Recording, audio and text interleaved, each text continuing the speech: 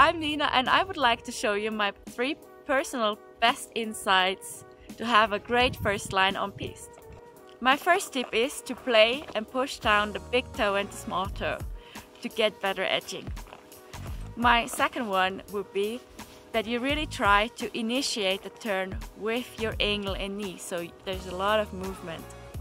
My third tip is that you really stabilize your core so you, your skis or like your knees can play around and your upper body stay stable and focus.